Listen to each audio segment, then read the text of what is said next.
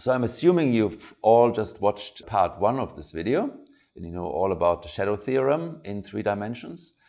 Now it turns out that our shadow theorem has counterparts for hypercubes living in abstract four and higher dimensional spaces.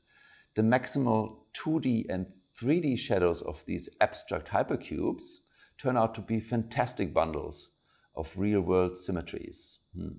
In fact, a lot of what's nice and symmetric about the 3D world we live in is actually captured by these hypercube shadows. Okay, so here's a bit of a summary of these higher dimensional extensions of our shadow theorem. It's also supposed to be a bit of a lead-in to the next video, which will be about how we construct and use higher dimensional spaces in mathematics and apply these higher dimensions in the real world. So it's going to be really hands-on, you know, how do you deal with, with higher dimensions? Should be good. Anyway, so what we have to do is we have to have another look at this very basic setup here. Right? So there's the cube hovering above this plane. And mathematically, the plane is just the xy plane, and this rod sticking out is the z-axis. And we're casting a shadow onto the xy plane. All right, now let's just take an arbitrary point in space. That point is uh, coordinates x, y, z. So what's the coordinate in the xy plane of the shadow of this point? Well, obviously xy. So we're basically forgetting about z. All right. So in a sense, to get the shadow of our cube here, we just take all its points and just throw away all their z coordinates, like x, y, z, throw away z. What remains is just x, y. Okay, so you may also have wondered what this black region on the z-axis stands for. Well, that's the shadow of the cube onto the z-axis. So just like we get the 2D shadow down there by throwing away the z-coordinates of the points of the cube, we get the 1D shadow by throwing away the x and y coordinates. So x, y, z, throw away x, y, you just get all the z coordinates. So that means that the height difference that we talked about before is really just the length of this second shadow. Okay? So we're measuring a length of a shadow and an area of a shadow. All right, so every point in 3D is captured by its x, y, z coordinates. And so in a way, 3D space is really just a collection of all number triples x, y, z, right? And things like distances, areas, angles, spheres, cubes, etc. are captured by various mathematical formulas and equations involving coordinates. That's what we do in maths. Then we define abstract four-dimensional space just to be the set of all quadruples, x, y, z, w. All right? And we extend the definitions of distances, areas, cubes, etc. by just generalizing what these things pan out to be in two and three dimensions. So what we're doing here is we're really creating a fourth dimension, four-dimensional spaces, five-dimensional spaces. These things have no physical reality attached to them. So we are really creating them. It's very important to stress this. Okay, now I'll show you exactly how all this is done in the next video. But to understand what the shadow theorem pans out to be for 4D unit cubes, for example, you don't need to know any more details, all right? In three-dimensional space, there are three coordinates, and there's essentially only one way to split these into two parts. That's exactly the way we've done it, right? So the 2D part, say xy, and the 1D part, say z. And then we simultaneously cast shadows into the 2D part and the 1D part. And we find that in the case of unit cubes, the numbers we get when we measure these shadows are always equal. In 4D, we can split up the 4D coordinates in two ways, a 3D and a 1D part, x, y, z on w, or two 2D parts, x, y, and then z, w. Okay, so I've prepared a couple of animations again.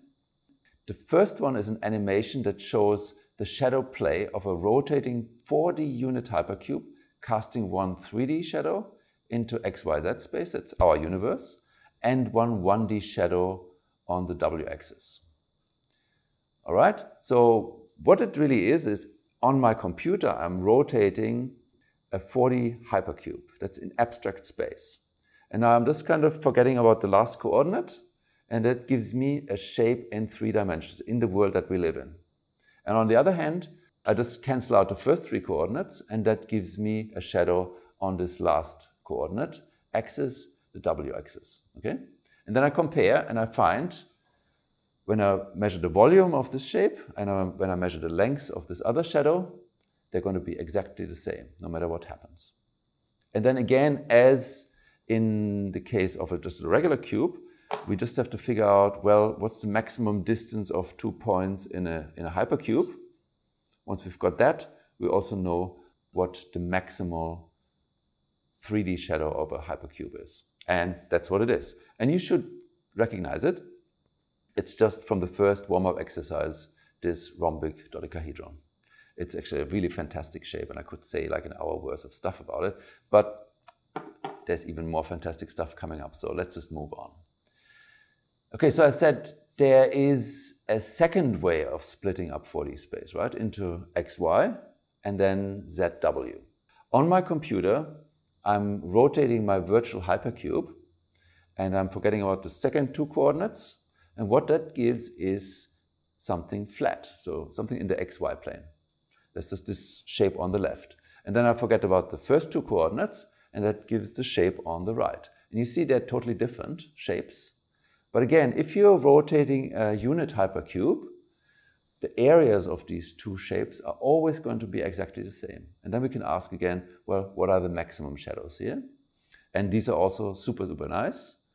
We're just coming up in a second here. They are regular octagons. So with this one here as a maximal shadow, we had a regular hexagon. With the four-dimensional hypercube, we have a regular octagon. And actually that continues throughout all the dimensions. So we always have a two-dimensional shadow, for example, of a 666-dimensional cube. What do we expect here? Well, the rule is we're in n dimensions, we have to double up, that's what we get, a 2n-gon, a regular 2n-gon. So for a 666-dimensional hypercube, we get a 666 times 2 is 1,332 gon. And that was the second warm-up exercise. So something like this is indistinguishable from a circle. So I fooled you there, I hope. All right. So now we can do the same sort of thing for three-dimensional shadows, or maximal ones, right? So we take something higher dimensional. We can't really see it, but we can manipulate it on our computers. We can throw away everything apart from x, y, z, and that gives us a solid shape. And whenever we're looking for maximum ones, these solid shapes are usually going to be something really, really, really nice. So we already had one example. Hypercube, maximal three-dimensional shadow was this rhombic dodecahedron that's spinning there. Very impressive, but it gets even more impressive when you up the dimensions. Now, I've actually had a look at the literature and it seems like we don't really know much in terms of these maximal shadows beyond dimension six. So we know the maximal shadow for four dimensionals, for five dimensions, and for six dimensions. And let's just go for six dimensions, okay?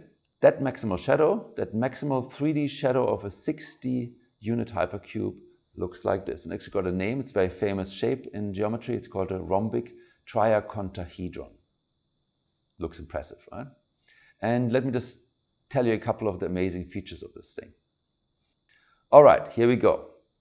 So this is one of the views of this rhombic triacontahedron.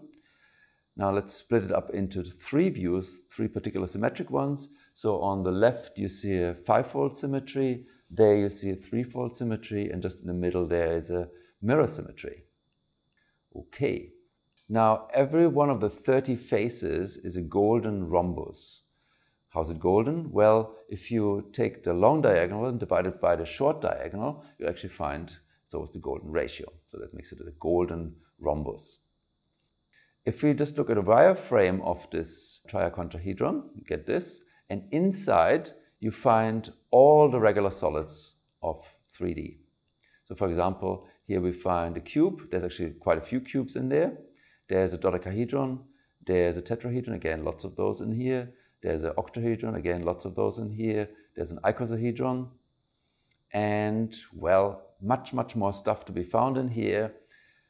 I'm sure everybody here has seen pictures or animations of higher dimensional cubes. These are all shadows. but these are usually not shadows of solid high dimensional cubes, they're shadows of wireframes, so like this.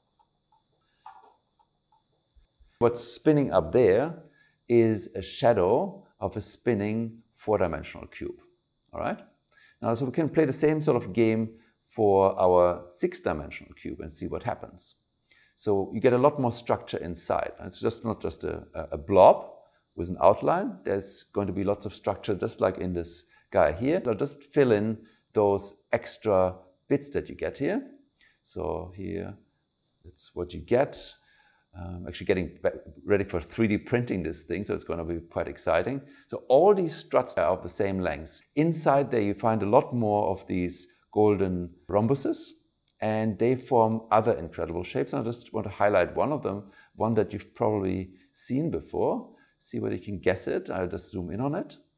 You recognize this one? Well, that's actually the logo for Wolfram Alpha, and it's called a hexecontahedron. All right, what else is in there? Well, I'll just show you one more, although there's really zillions more.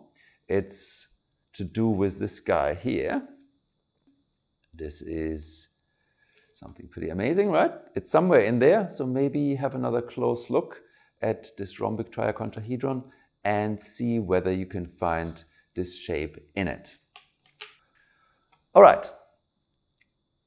Now, just recently, Matt Parker actually did a whole video, really fun video about the rhombic triacontahedron. So also check that one out. It's really, really a lot of fun. Usually, I tried to give you a bit of a insight into how these amazing things that I'm talking about here actually proved. Now, it turns out that it's quite hard to do this for the shadow theorem, but it's quite doable for the 2D part and the 3D part. So let me just show you the, the 2D part, okay? All right, so what's a 2D cube? Well, a 2D cube is just a square. Hmm. And well, how can you split up 2D? Well, really only in one way, into two one-dimensional bits, basically the x-axis and the y-axis. So here we've got the square, and what are the shadows on the x-axis and the y-axis? There they are. As I rotate this thing around, pretty obvious that the shadows are always going to be the same length. And why? Well, because the square has fourfold rotational symmetry. Okay, pretty easy. But it suggests a nice question. Are there other shapes that have this strange shadow property? 2D, not a big deal. Anything with a fourfold symmetry should work. For example, a regular eight-gon like this guy. You know, I can rotate it around, pretty obvious. This is going to have the shadow property. Great. What about 3D? Gets a lot more tricky there, right?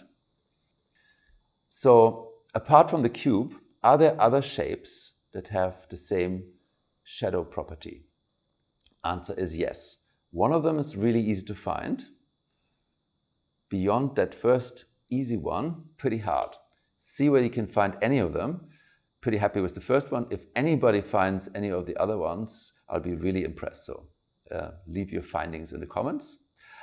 Now, just in case you're familiar with the cross product, you can actually try to solve one of my first year assignments that I often give to my students. So this guy here, I'm also going to put it in the description. So you can try and solve this. A lot of my first year students can do it, so see whether you can do it too. and if you can, again, leave your solution in, in the comments. What else? Well, what about Prince Rupert? Prince Rupert in higher dimensions? For example, can a hypercube pass through itself? Answer is yes. But really, this video is already getting really way, way too long as usual. So I better stop here and I promise I'll talk about it in another video. So I think this is it for today. And uh, well, I hope you enjoyed it. And if you did, say so in the comments and I'll see you next time.